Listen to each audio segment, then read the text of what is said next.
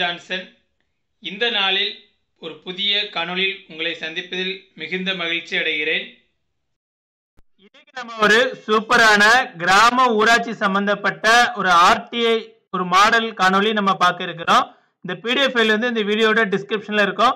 காணொளிக்கு போறதுக்கு முன்னாடி என்னோட சேனலை சின்ன இன்ட்ரோ குத்துது என்னோட சேனல்ல நீங்க பிளேலிஸ்ட்ல போனீங்கன்னா எல்லா வீடியோக்களும் தனித்தனி தொகுப்புலா உள்ளது.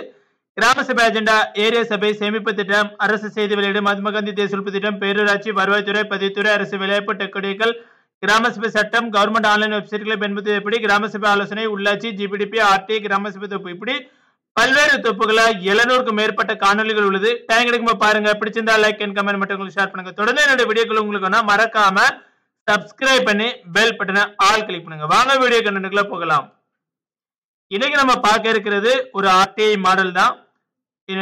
தொடர்ந்து ஒரு சில நண்பர்கள் வந்து இந்த காணொலியை வெளிய அதாவது மாடல் ரெடி பண்ணி காணொலியை வெளியிட சொல்லியிருந்தாங்க.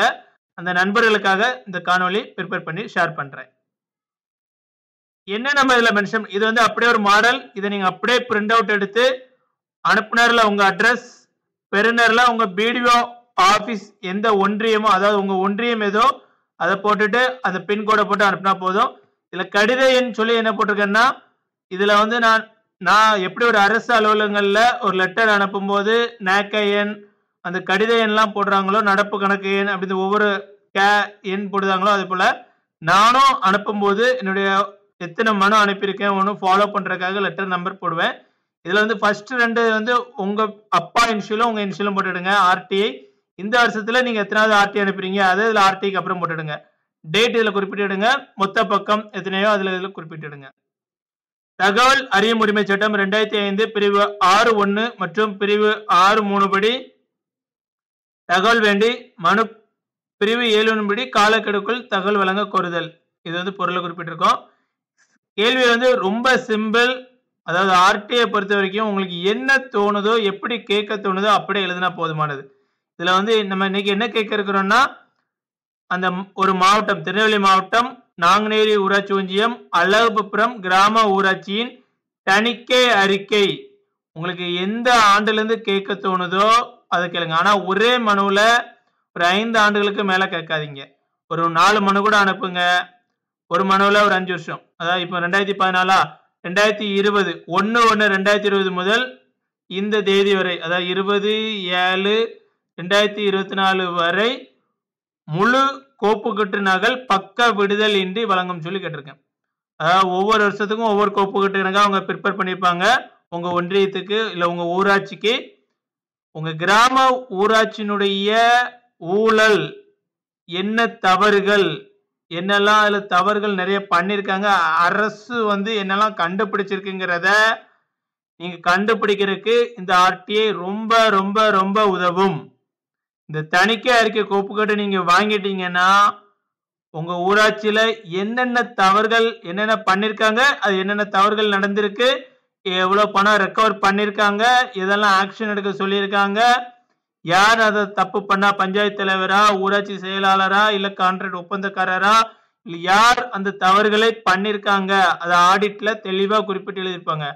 அதாவது ஆடிட் எவ்வளவுதான் ஆடி வர்ற ஆடிட் அவங்க ஒருவேளை சமாளிச்சாலும் ஜீரோ பாயிண்டா போட்டுட்டு போகவே முடியாது. கண்டிப்பா ஊர்ல நடந்த ஒரு சில கண்டிப்பா ஒரு சில ஊழல்களை விட்டா கூட எயிட்டி டு நைன்டி பர்சன்டேஜ் கண்டிப்பா ஊழல்களை மென்ஷன் பண்ணியிருப்பாங்க ஸோ இந்த ஆர்டிஐ கிராம ஊராட்சி சார்ந்த நண்பர்கள் எல்லாருமே அனுப்புங்க. கரெக்டாக தேர்ட்டி ஒரு தேர்ட்டி த்ரீ டேஸில் ஃபர்ஸ்ட் அப்பீல் பண்ணுங்க. அப்புறம் ஒரு ஃபார்ட்டி ஃபைவ் டேஸில் செகண்ட் அப்பீல் பண்ணிடுங்க சென்னை வரைக்கும் போய் இந்த தகவலாம் வாங்கி ஊராட்சியில் நடந்த ஊழல்களை நீங்கள் வெளிக்கொண்டு வர விரும்பினீங்கன்னா கரெக்டாக ஸ்டெப் பை ஸ்டெப் ஃபாலோ பண்ணி முழுமையாக தகவலை பெற்று அடுத்த கட்டமாக அது மாவட்ட ஆட்சியருக்கோ ஊழல் லஞ்ச ஒழிப்புத்துறைக்கோ அனுப்பி நடவடிக்கைக்கு ஃபாலோ பண்ணுங்க. இதில் வந்து ஒரு கேள்வியை கேட்டால் சிம்பிளாக இருக்குங்கிறக்காக கூட ரெண்டு மூணு கேள்விகள் ஆட் பண்ணியிருக்கேன் என்ன கேள்வினா தங்கள் அலுவலகத்தில் ஒன்று ஒன்று ரெண்டாயிரத்தி இருபத்தி நாலு முதல் இருபது ஏழு ரெண்டாயிரத்தி இருபத்தி நாலு வரை காலகட்டத்தில் தகவல் அறியும் உரிமை சட்டம் மூலமாக பெறப்பட்ட மனுக்கள் மொத்தம் எவ்வளவு என்ற விவரத்தை தகவலாக வழங்கவும் தங்கள் அலுவலகத்தில் இந்த பீரியட் இந்த பீரியட் வந்து பெறப்பட்ட மனுக்களில் எத்தனை மனுக்களுக்கு மனுதாரருக்கு பதில் வழங்கப்பட்டுள்ளது என்ற விவரத்தை தகவலாக வழங்கவும். இந்த பர்டிகுலர் பீரியட் இந்த பீரியடில் பெறப்பட்ட மனுக்களில் எத்தனை மனுக்களுக்கு மனுதாரருக்கு பதில் வழங்கப்படாமல் நிலுவையில் உள்ளது என்ற விபரத்தை தகவலாக வழங்கவும். மனு கட்டணம் ரூபாய் பத்துக்கு நீதிமன்றம் உத்தரவில்லை ஒட்டப்பட்டுள்ளது. ஸ்டாம்ப் ஒட்டுறீங்கன்னா இந்த ரைட் சைட் கார்னர்ல மேலே ஒட்டிருங்க.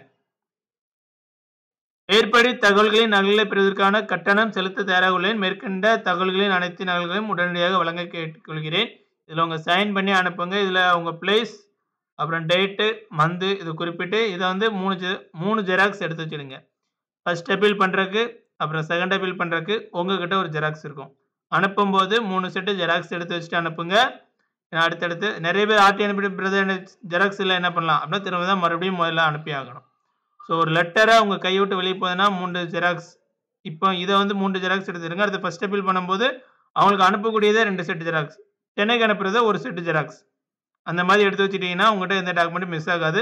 உங்ககிட்ட இப்படி கவர்மெண்ட்டில் ஒரு கோப்பு கட்டுகள் எல்லாம் மெயின்டைன் பண்ணுறாங்களோ அது போல் நீங்களும் ஒவ்வொரு லெட்டருக்கும் ஒரு லீஃப் ஃபைல் வந்து ரெடி பண்ணி அதுக்குள்ளே எல்லாத்தையும் டாக்குமெண்ட்டையும் கரெக்டாக ஆர்டராக மெயின்டைன் பண்ணுங்கள் ஏன்னா அது வந்து அடுத்து நிறைய அட்டையை நீங்கள் அனுப்பிட்டுருக்கீங்கன்னா உங்களுக்கு ஃபாலோ பண்ணுறதுக்கு இன்னும் ஈஸியாக இருக்கும். கடித நம்பரை ஒப்புதல் அட்டையிலையும் பின்னாடி எழுதி அனுப்புங்க. ஏன்னா உங்களுக்கு ஒப்புதல் அட்டை வரும்போது இந்த ஒப்புதல் அட்டை வந்து இதுக்குள்ளே வைக்கணும்னு சொல்லி உங்களுக்கு ஈஸியாக வைக்கிறதுக்கு ட்ராக்கிங் பண்ணுறதுக்கு ஈஸியாக இருக்கும். இந்த பிடிஎஃப் ஃபைலோட லிங்க் வந்து இந்த வீடியோட டிஸ்கிரிப்ஷனில் கீழே இருக்குது. இந்த தகவல் வந்து உங்களுக்கு ரொம்ப பிரயோஜனமாக இருக்கும் நான் நம்புகிறேன் பிரயோஜனமாக இருந்தால் கண்டிப்பாக ஒரு லைக் அண்ட் கமெண்ட் கிராம ஊராட்சி சார்ந்த நண்பர்களுக்கு கண்டிப்பாக இந்த காணொலியை ஷேர் பண்ணுங்க. தொடர்ந்து என்னுடைய வீடியோக்கள் உங்களுக்கு வேணா மறக்காம சப்ஸ்கிரைப் பண்ணி பெல் பட்டன் ஆள் கிளிக் பண்ணி எனக்கு சப்போர்ட் பண்ணுங்க. அடுத்த ஒரு நல்ல பெல் சந்திப்போம். நன்றி நண்பர்களே.